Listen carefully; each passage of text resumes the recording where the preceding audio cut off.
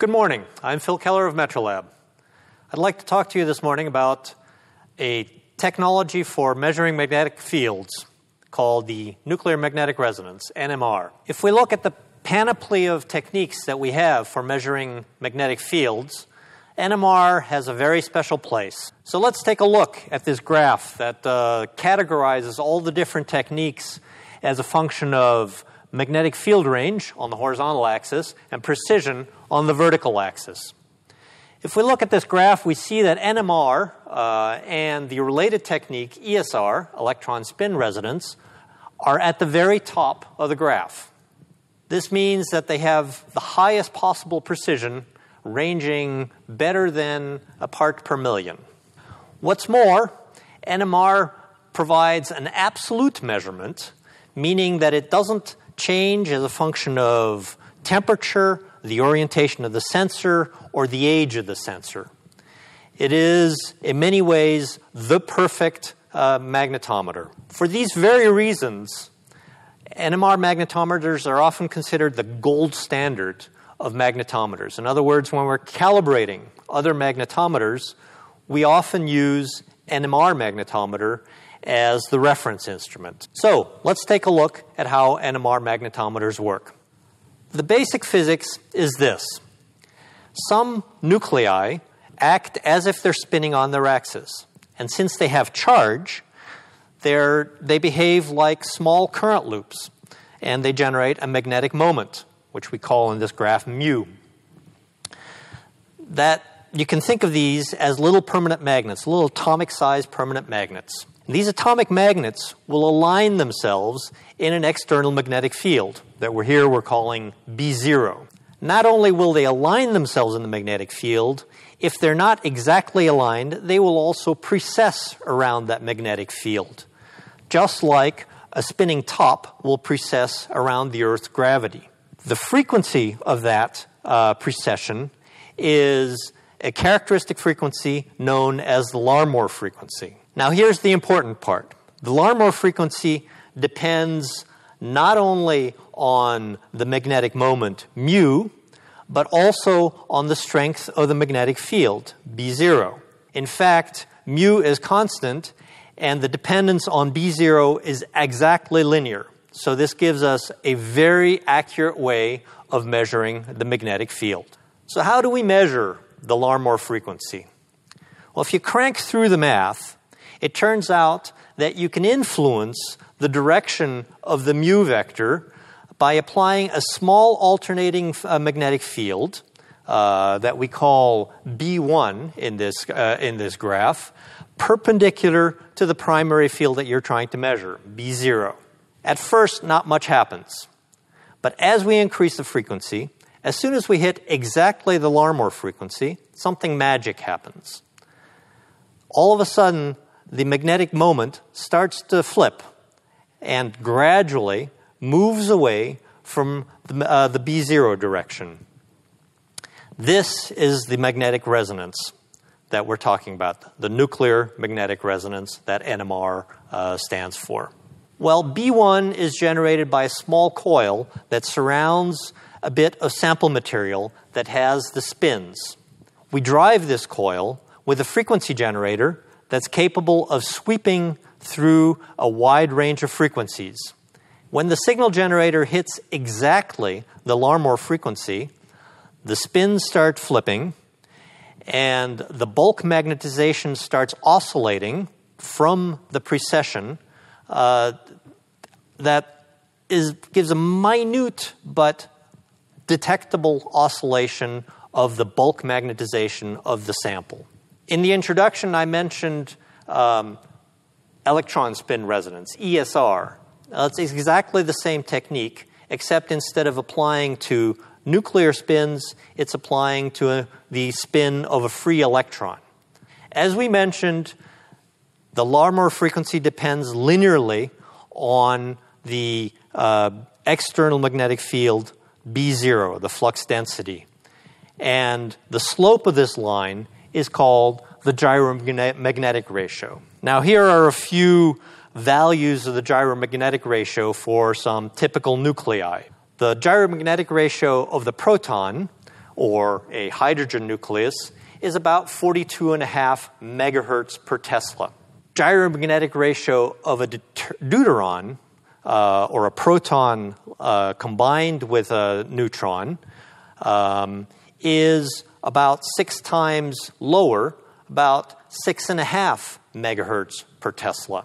On the other hand, the gyromagnetic ratio of electrons is about three orders of magnitude l- higher, meaning that we can measure lower fields uh, with the same frequency range uh, using ESR. So let's talk about the benefits of NMR as a magnetometer.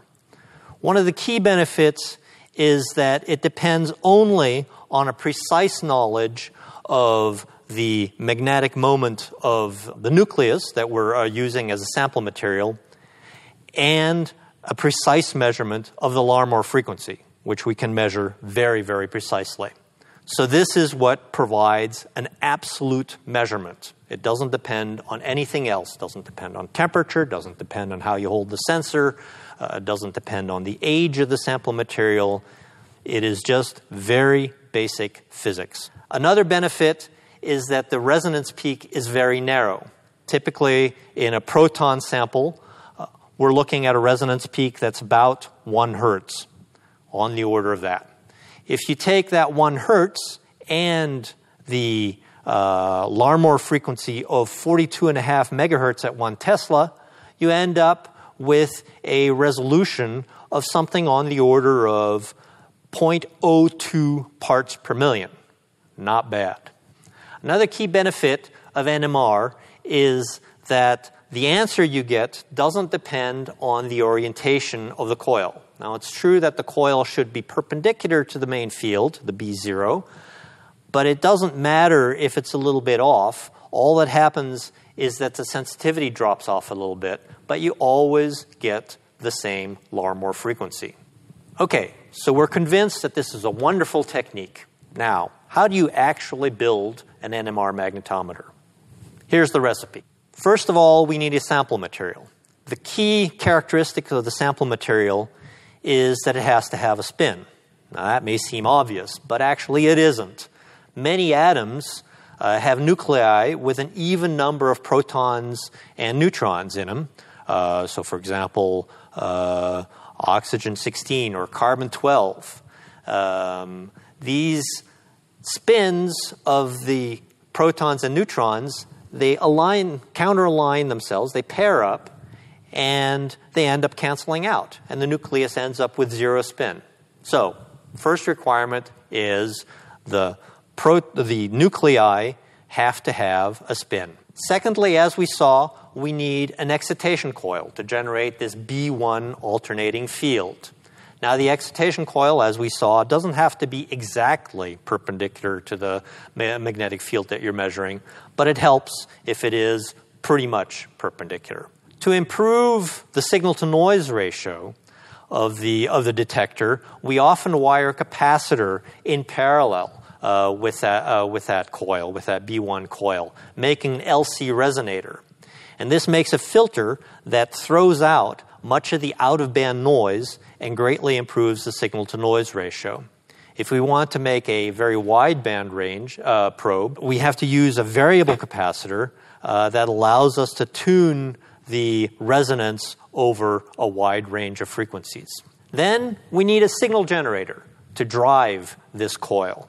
Uh, the signal generator is part of the most difficult uh, things to build because it has to have a very wide range uh, and be at the same time very, very stable. This is an engineering challenge. We also need some sort of detector to detect when we've hit the Larmor frequency. As you can see, there are two different ways of doing this continuous wave detectors and pulsed wave detectors, and we'll talk about those in a moment. Finally, for continuous wave detectors, we need also some sort of modulation. We need to sweep uh, either the frequency, which is usually what you want to sweep, but that may be difficult. And so, an alternative is to sweep the magnetic field by adding a small modulation coil and modulating the, uh, the fields that you're actually trying to measure.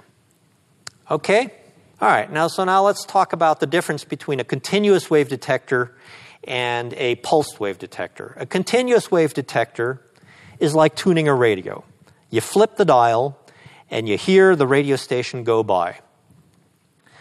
In this case, we hear the Larmor frequency go by. You might either detect the absorption peak because the sample starts absorbing a small p- uh, bit of energy, or uh, another technique that's been used is to have a um, detection coil that is perpendicular to the B1 excitation coil, and it detects when those f- uh, spins flip by 90 degrees. This is actually the technique that was used in the original NMR experiments. Pulsed wave detectors, on the other hand, are like hitting a clock. We hit the sample with a relatively wideband pulse, and then we f- this flips the spins by 90 degrees, roughly, and that means they precess perpendicular to the main field, and we can pick up that precession and measure the Larmor frequency. Okay, so if NMR magnetometers are so wonderful, why doesn't everybody use them? Well, there are some limitations, and let's talk about those. First of all, probes can only cover a limited range of frequencies. The impedance of the coil, which is an inductor, limits the frequency towards the high end, limits the frequency that we can emit. On the low end, the, uh, the coil is not a very efficient sensor anymore because uh, Faraday induction is, is less efficient at, the, at those low frequencies. And if we're using a tunable probe, the probe uh, range is limited by the, uh, the range of frequencies over which we can tune that resonant peak. Secondly, NMR is limited to using very uh, uniform fields. This is because the sample has a finite diameter and on one side of the, uh, the sample, the uh, uh, resonance is at a different frequency than on the other side of the sample in a non uniform field. So, when combined, the different out of phase frequencies cancel each other and kill the NMR signal. A third limitation is that NMR is traditionally a very slow technique. This is because the NMR sample takes a while to recover and realign itself with the external magnetic field. In water, for example, this can be a matter of seconds. So, if you want to take a measurement on every uh, pulse, every Larmor detection, uh, will take about a second. And this can really slow down uh, your, your measurement rate. Last but not least, NMR is a technique that is best suited to high, strong magnetic fields. So, for example, if we're at one Tesla, uh, that one uh, hertz resonant width corresponds to about 0.02 parts per million. But when we get down to 2 megahertz, or about 50 millitesla with protons, that corresponds to only, only 500 parts per billion. The more important reason, however, is that at low fields, the magnetization of the sample uh, decreases. Now, viewed quantum mechanically, this means that the energy difference between the spin up state or the spin aligned with the external field state and the spin counteraligned with the external field state is much larger than at low frequencies. According to the Boltzmann distribution, at a constant temperature, that means that the pop probability of populating the high energy state, the counteraligned energy state, becomes much higher at high fields than at low fields. In other words, at low fields, just the random flipping, random thermal flipping, is enough to take you out of that high energy state. So, net result is that we have much less magnetization of the sample at low fields. So, that's a short overview of this NMR technique used for magnetometers. I hope this will allow you to appreciate the benefits, but also some of the limitations of this powerful technique. Thanks for watching.